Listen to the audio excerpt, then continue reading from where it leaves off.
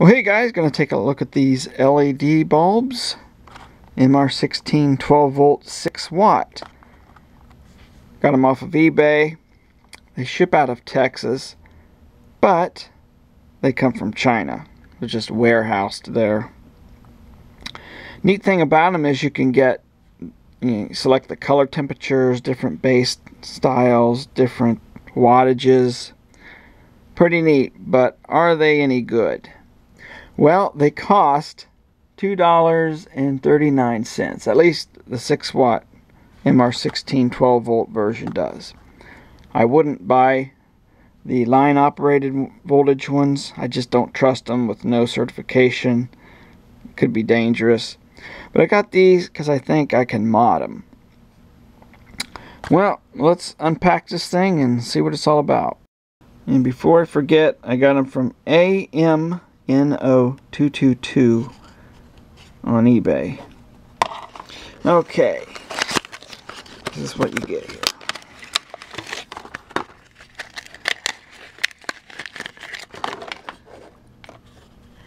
It's a chip-on board style LED. It's a fairly large heat sink, deeply fluted. That's a plastic lens. And the bi-pin base. 12 volts, of course. And it claims 6 watts.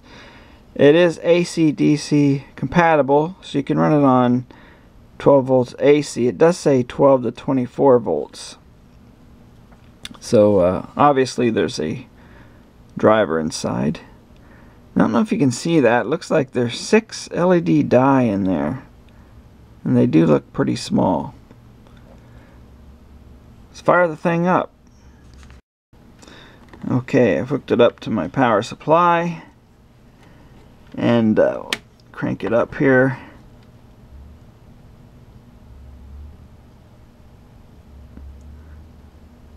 Definitely has a driver because it comes up to brightness and as I turn the voltage up higher it does not get any more brighter. It stays pretty level.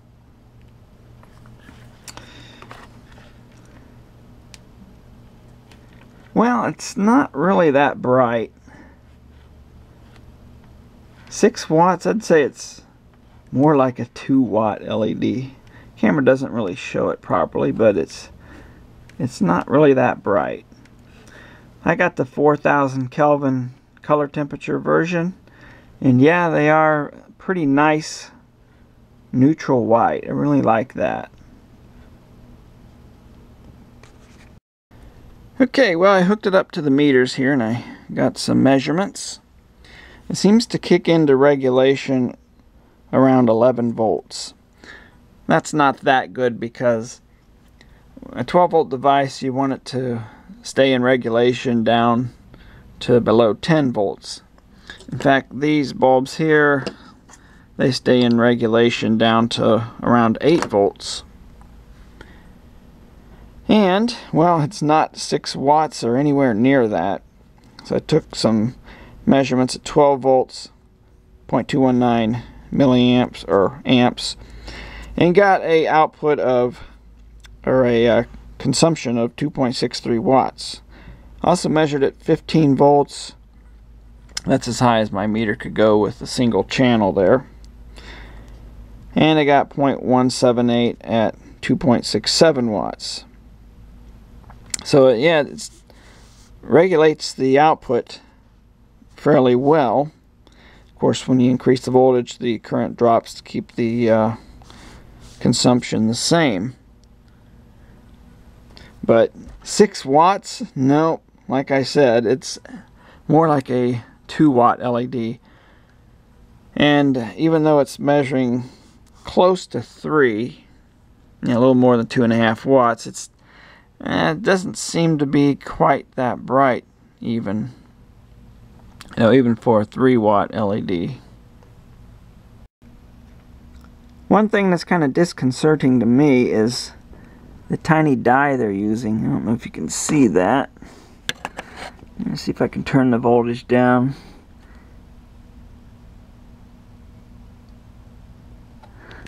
Very small die. Maybe like 50 milliamp type LED die. Well, the problem there is, you know, even at 3 or under 3 watts, they're going to be overdriven.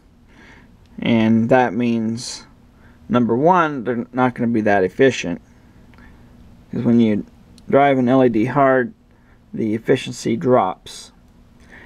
And number two, they're not going to last that long. When you drive them hard, it does impact the life. Even though it's heat sinked pretty well, yeah, it's still going to impact the life. I did buy four of them and all the little LEDs inside were matched pretty well. Usually with Chinese stuff it's a mismatch. But we'll open this thing up. It's got a plastic lens.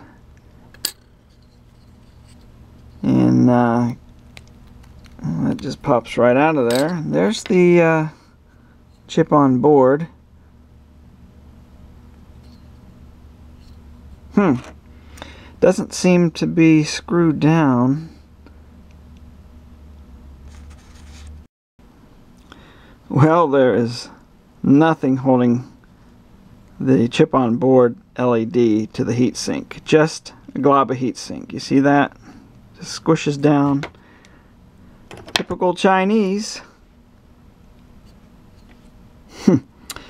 and Another thing typical with Chinese that everything just screws together. And there is the driver potted inside there. And um, they just twist the wires together like that. Put them through the hole, solder them up. Well, I, I bought four of these and we'll take a look at another driver. You know they're all the same but and uh, I'll get that out of there and also going to try a little mod on the thing. That wasn't too bad to take apart. This is threaded and it just screws right into that. And they just twist the wires up as you screw it down and uh, yeah, they did use plenty of thermal compound, but that was the only thing holding the LED down. Here's the driver. These are full wave surface mount diodes for the, uh, I should say they're diodes for the full wave bridge. And uh, there's the filter cap. Is that brand I see often.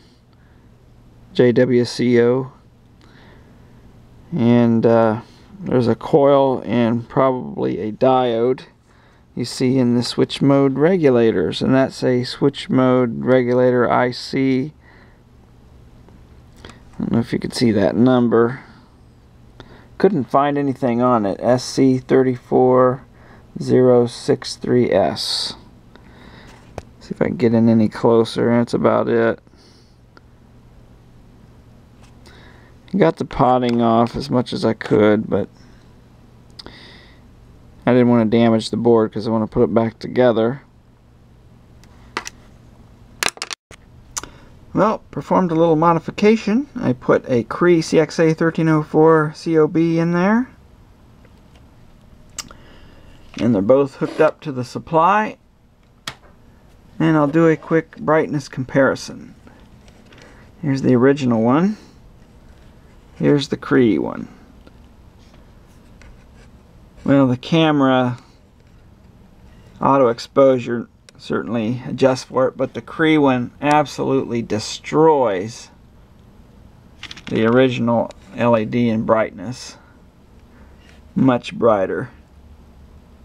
So these are actually a decent base for modding. So I think I'll mod all of them with these Cree CXA chips. I have a whole bunch of these things. They're not very expensive either. You can get them for like 250 or even less from DigiKey or Mouser. So you can get a nice bulb for uh, you know around five bucks. Well, that's it for this. Actually not too bad for modding. Surprisingly, being a cheap Chinese product, free shipping. I mean, there's you, get these things for two dollars and forty cents. There's no shipping charge. So heck, you know, why not? Well, that's it. Thanks for watching.